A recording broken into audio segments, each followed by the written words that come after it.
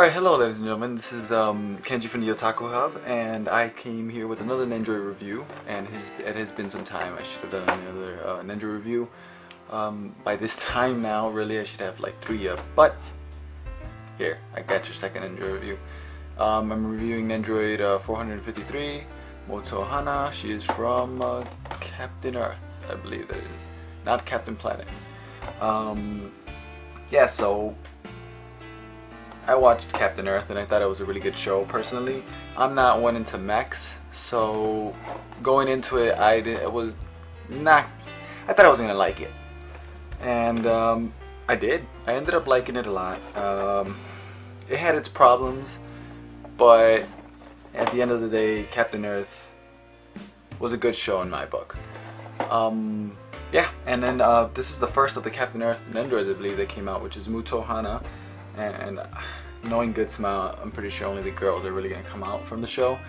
But hoping for yeah, all the characters, really, at least the four initial uh, main characters to come out.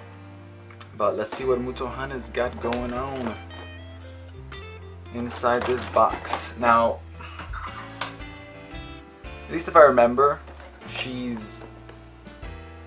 It wasn't that long ago that Captain Earth came out at all but she is, I believe, spoiler alert, no I'm just kidding, she is, um,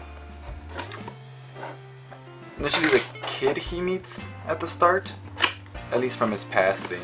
And it, it, he, it kind of shows you there at the, at the beginning of the show, so that wasn't really big of a spoiler.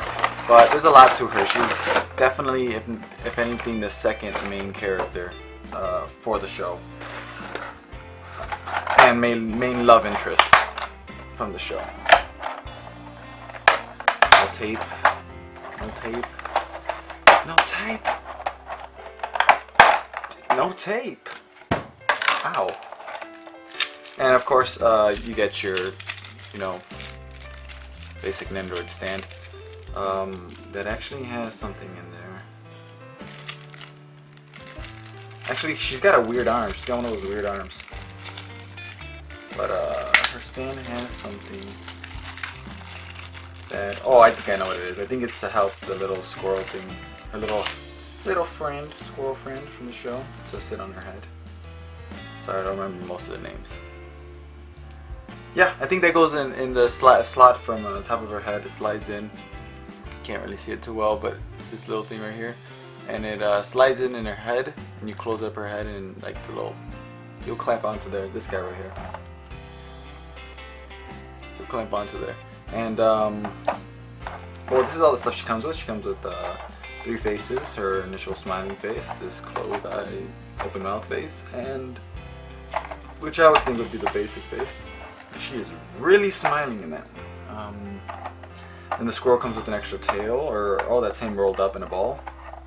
That is him rolled up in a ball when he tries to hide. She comes with her, uh, red bean. No, it's not red bean paste bun. Is it thing? A food she eats that she must like a lot. She eats a lot of food in that show, and many, many arms and legs. I don't know what I'm gonna do with all these arms and legs. And another dress piece. I'm guessing for when she sits down. If she sits down. Yeah, she lays down. She lays down, kind of on her legs, um, right there. So she's got the, this extra dress piece for that and I'm gonna get close up so that I could show each and each and every individual piece um, for this figure. Now, uh, Mutou Hana comes wrapped up in plastic, um, as all Nendoroids do. She comes with this like little over-the-top one, and this one that's right here in a little side hair piece. So you gotta take this off, I guess. Ah, another second piece.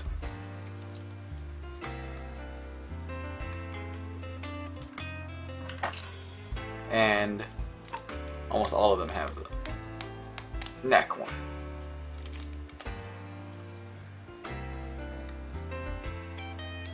Oop.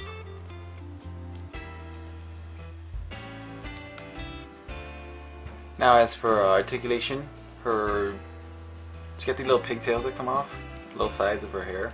Um, that's the only thing for her hair that's articulated, but you know it's different from everything else. Uh, her arms, articulation, her legs, you know, bloop bloop, the shebang shebang. She got a lot of well, these pieces get in the way, but she has initially a lot of room. Um, her she doesn't have a waistline, side to side movement. In fact, oh, she does actually for her legs. I lied. Blah. But um, this piece right here I I I thought this was like um, a boob line movement side to side because I, I I remember Toka has that, but no, that's just because her dress comes off. I remember now, but it is you know they got the crevice right there, so it kind of bothers me a little bit, but it's fine. Um, yeah, this is her just initially. Boom boom. I believe these are the arms she uses for when she lays down, little lay down arms to hold on to the floor. And she has also, putting nose back, one I showed you before where she's eating the food. She's got various arm pieces, various amount of arm pieces. For her different arm piece poses, this very bent one, this slightly less bent one, maybe to hold her hand on the hip, this very bent one from the other side.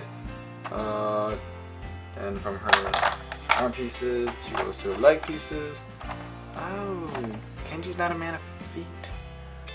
Um, she has these shoeless ones, shoeless legs, for her laying down pose, I believe so. And she has one slightly bent shoe leg. And this is her like laying down dress piece. Um, she also comes with her little squirrel friend. I keep forgetting his name. I should know his name. He doesn't. He he he like detects. Along with her, he detects all the other weird people, alien guys. Come out of here, ball. I will take you out of there, ball.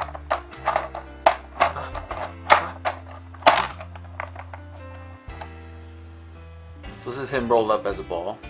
And I shouldn't have showed you that one first. Let's just show you how he looks. The little scroll guy right here. Hmm. I'm happy they added him because he was always with her. He's initially her little pet person thing. Oh, his head's rotatable. Look at that. And him rolled up as a ball. I don't know what you do with this. But if you wanted him rolled up as a ball, and there you go. Or her, whatever whatever it was. I believe it was a guy because it was a pink one. I thought that was cool. Actually, it looks like a girl. And her faces. Like I said, this kind of like slightly looking to the side one. And her like closed eye, open mouth kind of face. Yes, I like it. And we're gonna go into her poses. Alright, so the first pose I decided to put her in is this sort of, uh, she's just really happy to be eating this, whatever this is. I don't remember. Um, yeah, her stance, she gets, she has one of these weird ones where uh, people with really long and thick hair in the back get because my Toka has it, has it, and a lot of other of the Nendoroids I have have it. In fact, because I apparently end up liking all the women with very long hair. And in, on that note, unfortunately I will not be using this because it's very difficult to keep her in. So I'll be showing off her poses like this. And yeah, know, overall she's a very, um, at least from I remember in the show and just here at all, she's, in, she's a very innocent character. Um, very happy-go-lucky, loves sweets, um, you know, doesn't recognize what her strengths are and everybody else does. And yeah, but uh, she does have her uninnocent moments, if I would say so, because she don't even. I'm not even gonna explain most of the show, but it's love interest stuff going on. There's romance, so you know, not everybody's completely innocent, no matter where you're from. So yeah, you have that, and um, I do like these hair these hair pieces the way they go. You can give her you know, some running here or what I want to do. Make her like she's from totally a different anime as Demon Lord. Actually, that's exactly what I'm gonna leave her as. She's gonna be the Demon Lord. Look at her. Doesn't that not look like horns? Demon Lord. Hana.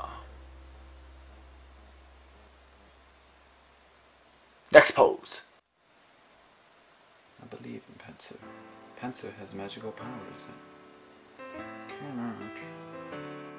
Alright, making some of my own poses here. But we have Demon Lord Hana here, uh, getting ready for karate. She she has her eyes closed because you know she's a pro like that, and she doesn't need to look. Straight up, you know, just having her eyes closed, mouth open, hands out. Wada, hiya, and um, yeah, yeah, I'm loving these uh, this whole damn horn hair thing. I don't know why. I know it's not supposed to be like that. It's supposed to be down here, but in my story, she's a demon lord. Just like every character in anime, make him a demon lord. Why not? Why the heck not? The demons and fighting and stuff and magic. But yeah, this whole karate pose thing, I think I'm gonna keep it like this. but um, on to the next pose. Buffering. Okay, and I got on this last pose. Uh, she's laying down on the floor the way you can put her down with her hand down and I got this hand up like this because reasons and um, little squirrel guy on the head now this thing is a little hard to put on and um, kind of this stays a little loose because of it's on there but you'll be fine. It's, it's fine. And this works like that as you can see. So yeah overall I'm very happy on what they did with her. They gave her a lot of stuff um, which for a non-action pose or non-action figure uh, is really difficult to make stuff for. But if you've got things like um, your little tropes or whatever in the show, or not tropes, the things you like, the character likes, and little pet creatures like that, and all that stuff, then they'll be fine. Also, like you know, give her things like this, which is awesome. Everybody should have hair like this. They could be a demon lord if they want to. Thank you for watching. Subscribe if you like. Um, like if you like, of course. And um, yeah, I'm making more videos if I can. If I can. I'm going to college, so I have time problems. And I just got Majora's Mask and the new 3DS. So that's taking up the other side of my time. So thanks for watching. This is Kenji from the Otaku Hub and Mutou Hana saying Bye.